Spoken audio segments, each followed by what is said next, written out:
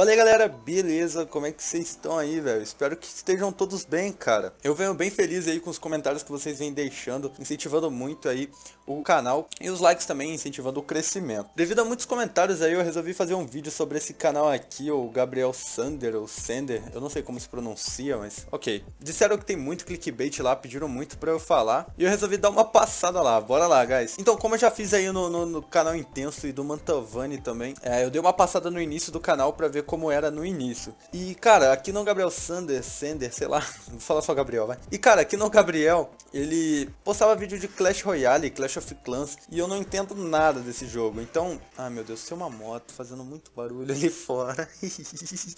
que raiva, mano.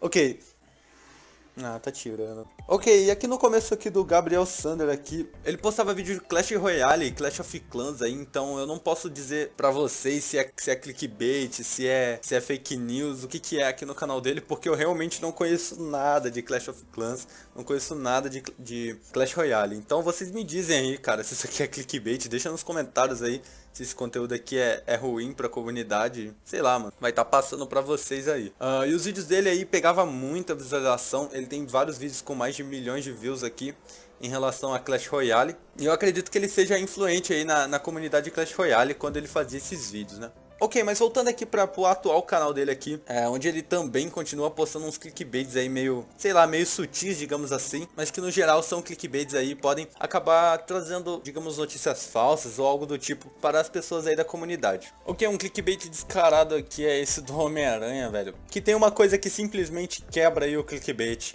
Homem-Aranha chegou no Fortnite e um ponto de interrogação. Isso quer dizer que, tipo, pode ser sim, pode ser não. Então, não é um clickbait tecnicamente, mas vocês me entenderam.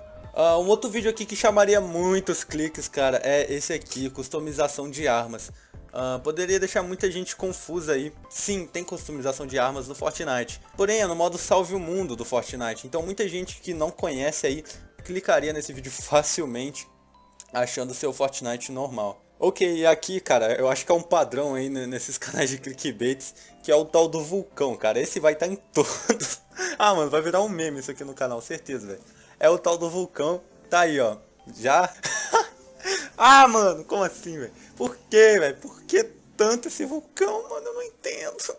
Beleza. Mano, eu, eu, tô vendo que um dia, eu tô vendo que um dia esse vulcão vai chegar no jogo e eu vou quebrar muito a minha cara, velho. Eu tô vendo. Tá bom, ok, esquece essa parte. E cara, continuando aí, já desde muito tempo atrás, ele já vinha fazendo clickbaits aí. É, como esse aqui da skin secreta, cara. Ele botou uma skin nada a ver aí na, na thumbnail, que chama muito inscrito.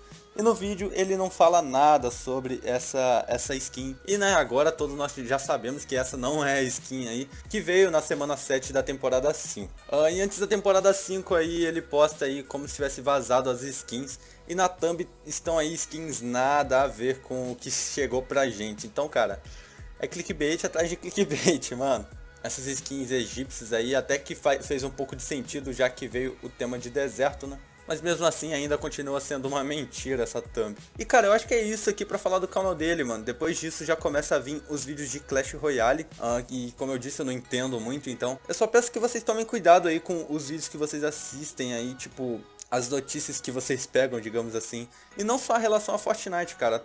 Em todo, todo conteúdo que você vê uma notícia falsa, tenta, tenta ver se é verdade mesmo primeiro. Então, eu acho que é isso aqui. Eu peço que se inscreva aí, dê um like, compartilhe o vídeo com seus amigos aí se vocês gostaram. E comentem sugestões de vídeos novos, cara. É só isso mesmo que eu tenho pra falar e falou!